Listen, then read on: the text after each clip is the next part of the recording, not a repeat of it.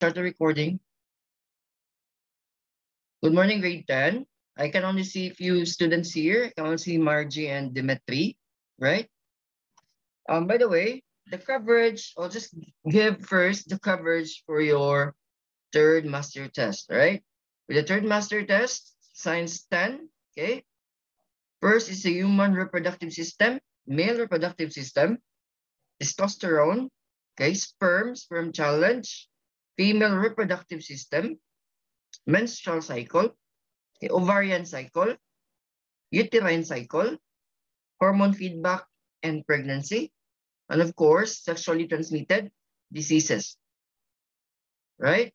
So again, your exam, your third mastery test is this 21st and 22nd of February. Okay, that's Monday and Tuesday next week. So we need to finish the discussion this week. And you need also to settle, settle your account as soon as possible so that we will not have problems during the examination day, right? Let's move now to the female reproductive system, okay? The female reproductive system performs the following functions. Number one, production of female sex hormones. Okay. Are you familiar with these female sex hormones? The estrogen and the progesterone. So these are the female sex hormones. Let's take a look at later. Let's discuss later what are these hormones, right?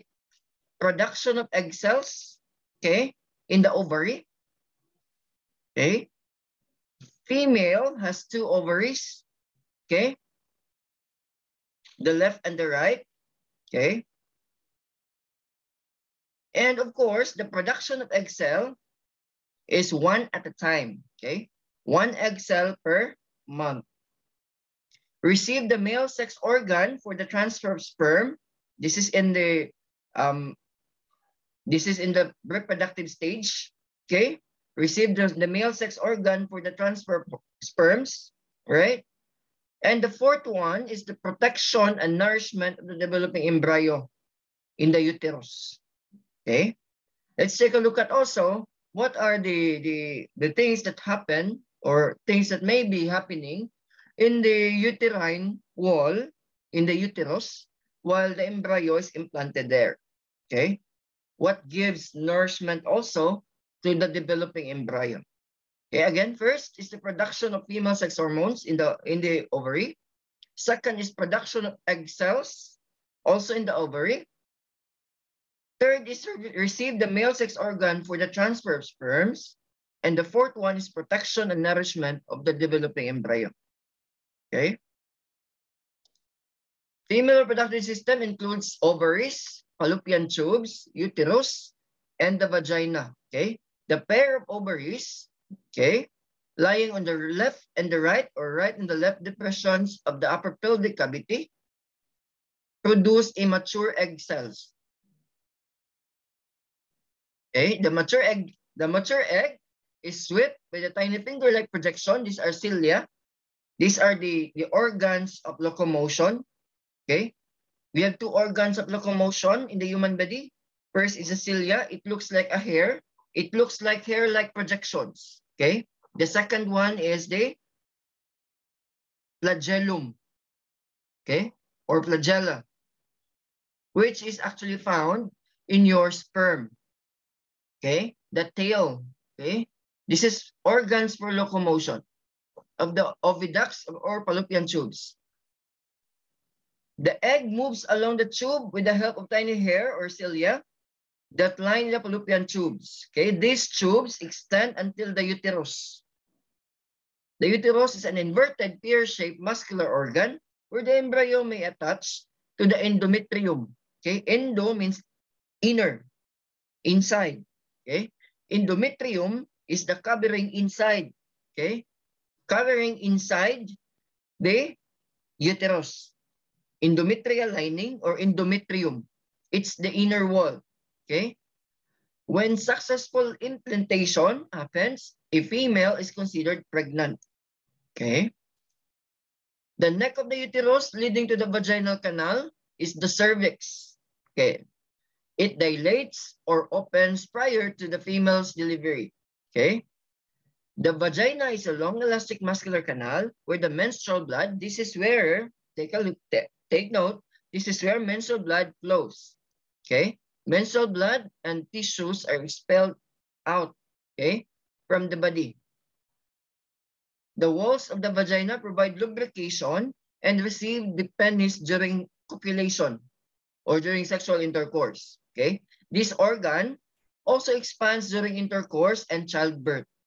Okay, this is the reason why if you're going to look at the, the anatomy of the female reproductive system, it is quite um, really complicated because of this, okay? And of course, what makes a, a, a, a female what makes a, a, a woman or a female a womb with a man, okay, or a man with a womb, just because it has a womb, okay? That's why it's called woman, right? And this has a lot of um has a lot of functions, of course. This also contains a lot of chemical reactions in the body, that is why there are a lot of cases that woman has different moods. We, we usually call them as mood swings. Okay? This is because of these chemical um, processes inside the body. Right? The hymen is the membrane that surrounds and partially covers the opening of the vagina. Okay. if you're going to look at the anatomy of the female reproductive system, this is the, the layout, right? You can you can you can actually see the uterus here. The uterine wall is inside, so this is the uterine wall, which the uterine cycle happens, right? This is the fallopian tube, which contains cilia or ciliated, ciliated membrane, cilia. And of course, the ovaries, the left and the right ovaries, okay? Which actually what? The source of your female sex hormones, progesterone and estrogen, okay?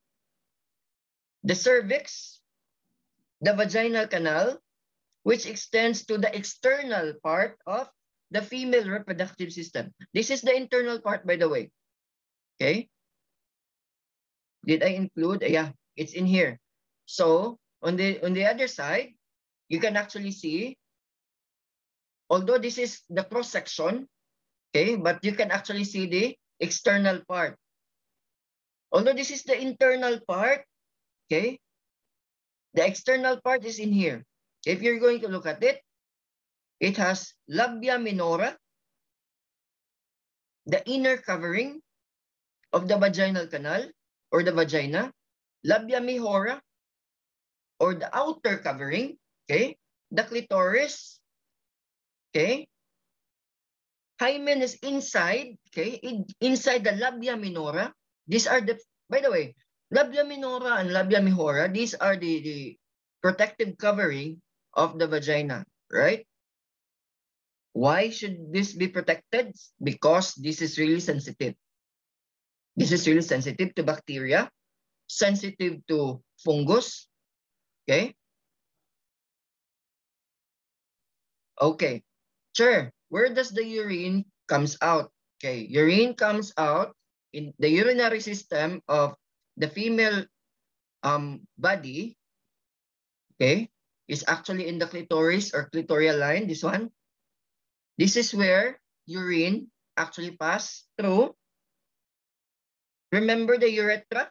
This is the passage of urine and your urinary bladder. Okay? So, the urinary system and the reproductive system in a female body is not actually or it's not directly connected compared to the, the male reproductive system or the male's body. Okay? You can ask questions you can ask question anytime. Just let me know, right? Okay. Again, this is the inner, okay? This is the inner part of the female reproductive system. And this is the outer, this one. Outer part, okay? Rectum, this is actually connected to the large intestine. Okay, actually, what happened here is this is a cross section, oh no, it's longitudinal section of the female body. As you can see, okay, you can actually see the large intestine, okay, the female reproductive system, and the urinary system. Okay. And the openings, we have three openings as the outer, okay, the outer part of the female reproductive system has three openings. Again, rectum, or this is anus, anal sphincter, anus, okay? Vagina, this opening is the vagina. And the last opening is the clitoris or clitorial opening. Okay? Do you have any questions so far? Question, question? By the way, this is longitudinal section, not cross section.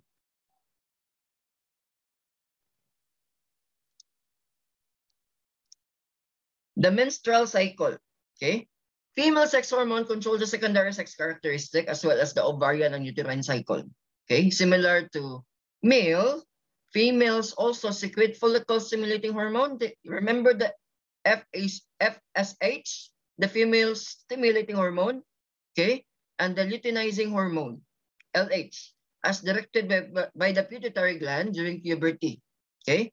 This instruction signals the start of the puberty that includes the development of the secondary sex characteristic in female, okay? And the onset of menstruation, okay? Let's take a look at later. What are the importance of this menstruation what are the importance of having, again, um, the egg, the, the fully developed egg in the system, right? A female experiences body changes even before the first menstruation. This is called menarche or menarche. These female secondary sex characteristics include development, the development of the breasts, growth of the axillary underarm hair, okay, pubic hair, Rounded contours brought about by the widespread layer of fat in the area like the abdomen, okay? Hips and thighs. Widening of the hips in preparation for childbirth and the development of higher pitch voice, okay? At puberty, the pituitary gland starts a series of hormonal changes, okay? Hormonal changes that render a woman fertile. Okay? Or capable of pregnancy. These hormonal changes and the effects they produce is called the menstrual cycle. Okay? While the length of this cycle varies, the typical cycle is about 28 days or a month. Okay? We usually um, have this 28 days. Okay? During these days, changes in both the ovary and the uterus takes place or take place. This is the reason why um, usually female have had mood, mood swings. And this is also the reason why there are some changes, okay? There are some changes in the physical characteristic as well as in the um, in the behavioral side of female in this cycle, okay? This is because of this cycle. Let's take a look at the ovarian cycle. This is the cycle of the ovary. Okay. At the beginning of the cycle, the pituitary gland secretes increased amount of follicle stimulating hormone, your FSH, and allows an ovarian follicle to mature. Okay. As the follicle cells develop, they secrete the female sex hormone estrogen. Oh, the first one is estrogen, right? The multiplication of follicle cells signals an increased level of estrogen in the blood, okay? And the pituitary gland secretes another hormone, the luteinizing hormone, together with, this is FSH, brings about the final maturation of the follicle which culminates the ovulation and release a mature egg or releases the mature egg. Okay, this is the time now that you actually feel different a difference in your body. You feel that uh, you feel something like um, you're really beautiful. Okay, beautiful in the in, in your side. This is because of the hormone. Okay, female hormones. Okay, usually um, triggers behavioral patterns. It also triggers um, a, a sometimes okay a good mood. Okay, in the during the start of the ovarian cycle. This is in the ovarian cycle. Okay. Ovulation usually occurs on the 14th day of the cycle. Take note. Again, ovulation usually occurs on the 14th day of the cycle. The egg is, vi is vi viable for fertilization within 24 hours from its release. Still under the influence of luteinizing hormone, okay, the cells of the ruptured follicle develop into a yellow body called corpus luteum. Okay? Corpus luteum is actually developed, okay, in the ovary. Okay, as you can see, it transforms into yellowish. Okay, these are the follicle, and this is your cor corpus luteum. Okay, I can only see Margie and Dimitri now. Jillian is out.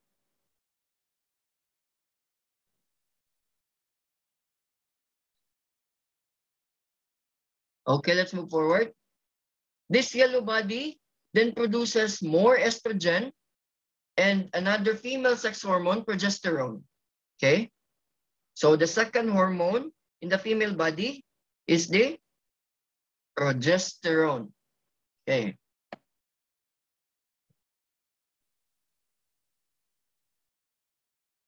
Both hormones prepare the uterine wall for possible implantation of a fertilized egg. Okay, the raised level of estrogen and progesterone exerts a feedback of control over pituitary gland and inhibit the secretion of luteinizing hormone and follicle stimulating hormone. With the drop of amount of these two hormones, the luteinizing hormone and the follicle stimulating hormone, the corpus luteum is derived or deprived of hormones that maintains it. Okay? If there is no hormone that maintains the corpus luteum, what happens to the corpus luteum? The corpus luteum begins to degenerate and therefore it is it it influence in the progesterone level affect the endometrial wall in a domino effect. Okay? Again, degenerate. If corpus luteum degenerate, degenerate, degeneration means what? When you hear the word degeneration, what comes into your mind? Everybody, are you still with me?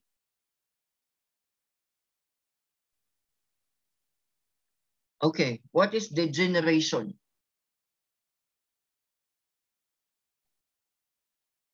Degeneration means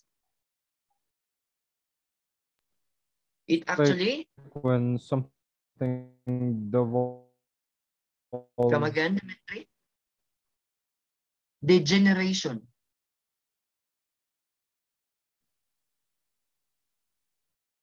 What do you mean by the word degeneration base? devolves. Come again? When something devolves. All right, correct. Something devolves. What else?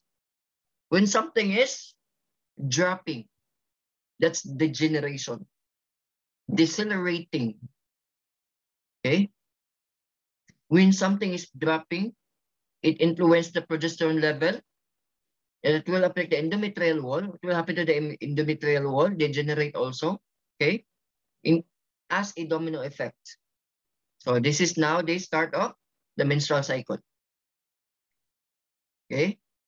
Let's move now to the uterine cycle as a domino effect, okay, of the uh, degeneration of the corpus luteum. Let's move now to the uterine cycle. Okay. While the events are taking place in the female ovary, a series of changes also happens in the uterus as a consequence of these hormones. Okay. With the low levels of progesterone and the surface of the endometrium, okay? You remember the endometrial lining, the degeneration of luteum triggers again the degeneration also of the endometrial lining, okay? Or the endometrium, or the uterine wall begins to disintegrate and blood vessels would rupture, okay? Blood and some accompanying endometrial tissues flow out of the vagina in the process called menstruation. This is now the menstruation, okay? Some of my students actually ask me about, sure, is the menstrual blood um, dirty? What do you think? What do you think, Margie?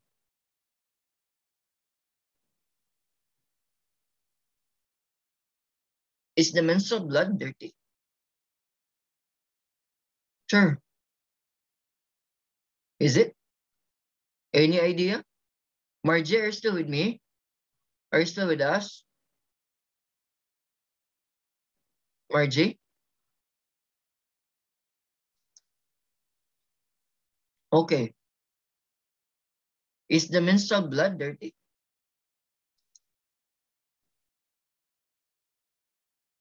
What do you think?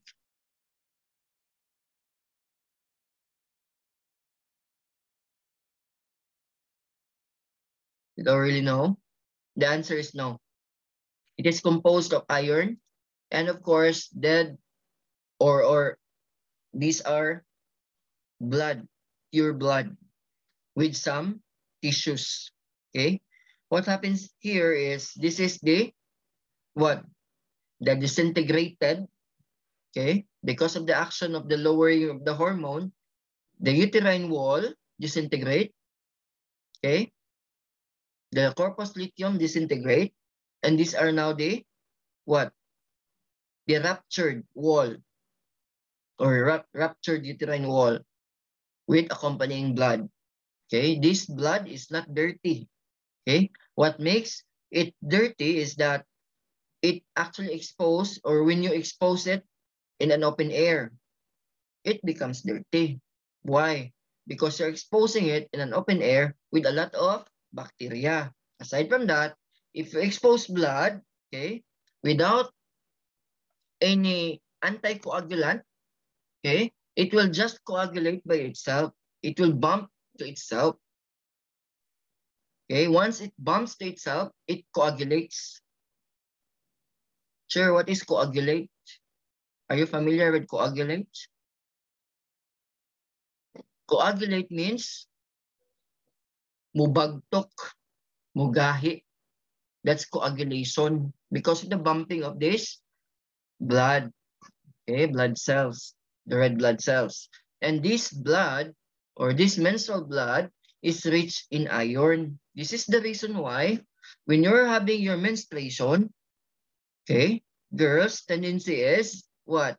You will have you will have a lot of pantal-pantal, okay? Lagum-lagum. This is because of what? The withdrawal of iron. Okay? This is because of the withdrawal of iron. Once iron is withdrawn in the body, you can actually experience what? Iron deficiency, anemia. This is common in female. That is why the, the, the, the medicine for this is a supplement of or supplementation of iron in the case of or in in in the case of what what supplement the ferrous sulfate this is the reason why if you're going to consult into your doctor girls, doctor usually give you ferrous sulfate. This is they to what? To to give again back, okay? To supply back the lost iron in the process. That's the reason behind. Are you still with me? Are you still with me? Okay. Again, please ask questions even in the middle of the discussion, it's okay, right? the menstrual phase lasts about five days. What happened next in, after five days? Okay. After the menstru menstrual period, okay, after five days, the endometrium starts to build up due to the increased amount again. Because this is a cycle, there is an increased amount again of estrogen by the developing follicle or follicles in the, in the ovary. This is the proliferative phase of the uterine cycle, which lasts from 6 to 14 days. Okay, the formation of the corpus luteum, okay, the formation of the corpus luteum and the secretion of progesterone trigger the endometrium to double in thickness and prepare itself for the developing embryo. Okay, the uterine glands become mature and, the, and produce a thick secretion. Hence, the term secretory phase of the uterine cycle begins on the 15th day of the cycle until, okay, before the onset of the next menstrual phase. Okay, we have two cycles in the in the ovary or ovarian cycle. We have the proliferative phase, okay, which lasts from 6 to 14 days. The formation of the corpus luteum and secretion of progesterone trigger the endometrium, endometrial lining to thicken okay, to prepare itself for the developing embryo, okay? The uterine glands become mature and produce thick secretion. Hence the term secretory phase of the uterine cycle begins on the 15th. Okay, secretory phase. What's with the secretory phase? Okay, it is in the 15th day of the cycle until the onset of the next menstrual phase. This cycle, however, may be interrupted by stress, health, pregnancy, but if pregnancy does not occur, the cycle begins anew. Okay? Right. Proliferative phase and the secretory phase. Okay, this is now the, the layout of the ovarian cycle and the uterine cycle. Okay, this is the ovarian cycle, the cycle of the ovary. Okay, to the follicle. Remember the follicle, which, which will be actually um, goes into developing phase, node goes into corpus luteum and releases egg in the process. Okay, with the help of luteinizing hormone and the follicle stimulating hormone. Okay, follicular phase. Okay, this is ovulation. It releases egg cell. Okay? And again, it will just develop into corpus luteum and degenerate by itself. Once it degenerates, it actually reacts with or it will actually have an effect on the uterus, hence the uterine cycle. Okay? The low level of estrogen will actually degenerate okay, the walls of the uterus or uterine wall. Okay?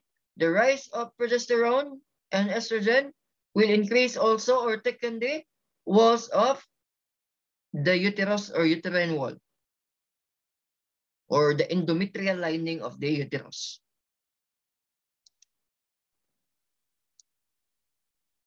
Do you have any questions so far? Questions, questions?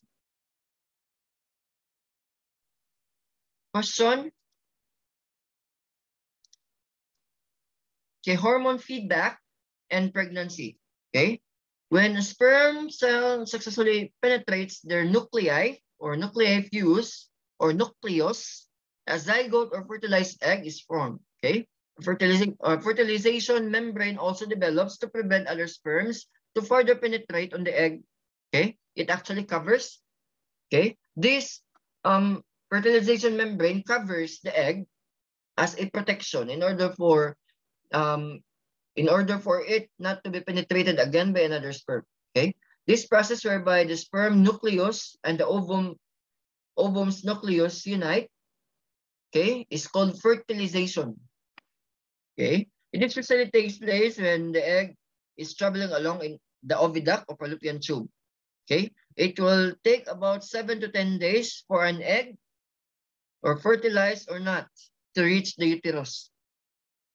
Okay, there are some cases that it cannot actually reach the uterus. If it will not reach the uterus, tendency is you will have what? It will develop in the fallopian tube. Okay. It will develop in the fallopian tube and hence it will actually die. Okay. The developing, the, the, the, the zygote there will eventually die. Okay. What do you call that case?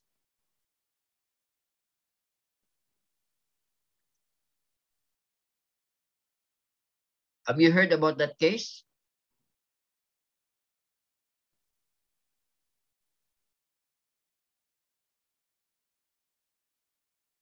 Huh? What do you call that case? Maybe you heard about this. Okay, this is common. Or well, it, it is not, but usually there are some cases that it is really happening. It is called ectopic pregnancy. Okay, ectopic pregnancy when um the the, the developing embryo or zygote, okay, actually develops in the fallopian tube. Okay, it actually travels from seven days to 10 days, but if it cannot actually move, it will just develop in the fallopian tube and hence it will become, or you will have an ectopic pregnancy. Okay. The zygote there will eventually die and, in, and it needs to be removed. Okay. Upon successful implantation of a developing embryo in the endometrium or endometrial lining, the developing embryo and the uterine lining jointly form a special organ called placenta. This is an organ, okay, that gives nourishment to the embryo. It is actually attached in the endometrial lining of the uterus or uterine wall. Okay. This provide nourishment to the embryo or for the embryo as well as secretion of the hormone called the human chorionic gonadotropin, HCG. Okay, take, a, take note about the terminologies about the hormone. This is human chorionic gonadotropin, which is related to the luteinizing hormone. Okay, since they act as the same on the, the same receptor. Recall that luteinizing hormone maintains corpus luteum. With the corpus luteum intact, progesterone production is maintained and the uterine wall will not break down. Okay. Since it will not break down, tendency is it will actually nourish or it will actually give nourishment or the, the, the placenta will give nourishment to the developing embryo. Hence, a pregnant woman will not menstruate because of HCG. Okay or human chorionic gonadotropin. HCG passes in the urine. Okay, it is the same hormone detected in the pregnancy test kits. Okay, this is the reason why you can actually detect or pregnancy. You can actually detect if you are pregnant using a test kit because again, the HCG will pass to urine. Okay, the human chorionic gonadotropin. Okay, the embryo is is abnormal or it dies, HCG will drop. If the embryo is abnormal or it dies, HCG will drop and the endometrium or endometrial lining, if there is a dropping of HCG, the endometrial lining of the uterine wall will disintegrate, causing woman to have miscarriage. Let's take a look at sexually transmitted diseases. Do you have any questions so far? Question, question. Answer. Okay. I will I will um upload this in the LMS and please review, right? Sexually transmitted diseases, mainly sexually transmitted diseases or STD. These are infectious disease resulting from sexual activities. Have been reported even among teens who become sexually active. Okay. STD, choose no one. Okay, all kinds of people regardless with gender, age, or economic status. And of course, education, educational background can be affected. Okay, they are caused either by bacteria, virus, or parasite. Okay, those are the three um, causes of a STD. Okay, you have bacterial, viral, and parasitic. Okay, STD symptoms are not always obvious. These are asymptomatic. If one has STD symptom or has been exposed to STD, he or she must see a doctor right away. Okay, some STD can be treated easily, but others require more complex and long-term treatment. Okay, when left untreated, some of these diseases may lead to serious health problems such as HIV, which affects fertility. Okay, let's discuss thorough um, these sexual transmitted diseases by next meeting.